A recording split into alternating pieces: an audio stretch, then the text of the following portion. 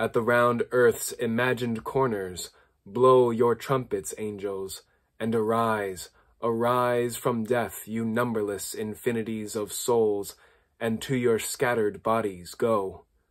All whom the flood did, and fire shall o'erthrow, all whom war, dearth, age, agues, tyrannies, despair, law, chance hath slain, and you, whose eyes shall behold God, and never taste death's woe.